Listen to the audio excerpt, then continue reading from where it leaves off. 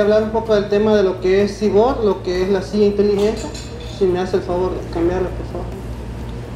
Eh, bueno, la idea de Cibor eh, se formó desde el año pasado.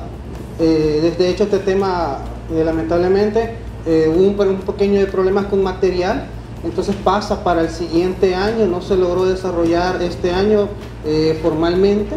pero voy a hablar rápidamente de la idea de lo que es Cibor. Si me hace el favor, pasar a la siguiente.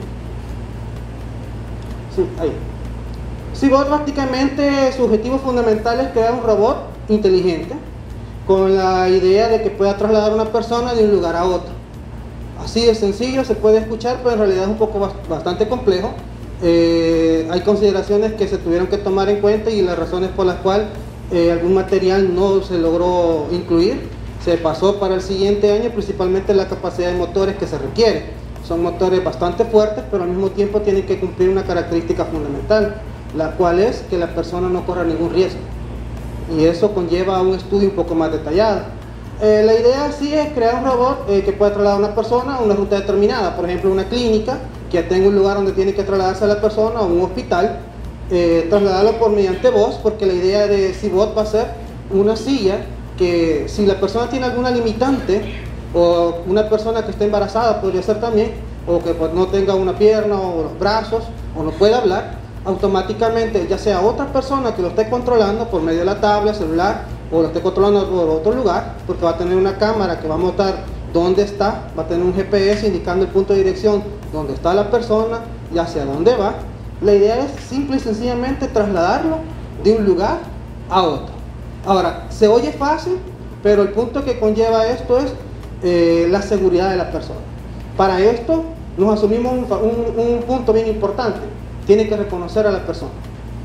Tiene que haber un registro de alguna forma. Al mismo tiempo tiene que recibir órdenes y emitir algún tipo de sonido si sucede algo que no se pudo comprender. En otras palabras, si se sale de la línea, como dicen por ahí, el robot tiene que mandar una, señal de alerta, va a estar una cámara guardando, eh, tomando fotos de todo lo que está sucediendo a su alrededor y automáticamente va a estar mandando información eh, constantemente. Siguiente, por favor. Esta idea no es nueva pero ya existen antecedentes de otras universidades. Eh, actualmente la, la, labor que me he tomado en este, y de hecho me he estado haciendo amigo de varias universidades a nivel de otros países, principalmente Japón y, China, que eso me he estado haciendo amistades con la gente que está desarrollando prototipos como este. Este ya está a la venta. Esto lo tienen ellos en, Japón. La idea de él, como ustedes pueden apreciar, lo tiene de dos formas. Uno es manual, como que fuera una silla mecánica normal, y la otra que la está controlando mediante la computadora. El prototipo eh, se tardaron ellos en desarrollarlo, según lo que me comentaba, esa es su octava versión. La primera versión no se conoció, la segunda tampoco, hasta que lograron un punto de que decidieron de que ya estaba lista para vender, sacar al mercado. En el caso de nosotros, eh, va a ir también en etapas.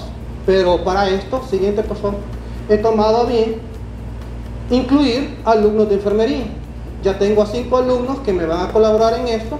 El próximo ciclo ya tengo un personal de enfermería que me va a dar, me va a echar la mano y tengo algunas personas del hospital que también me van a dar puntos para determinar si la silla en algún momento determinado ya está óptima para la primera función.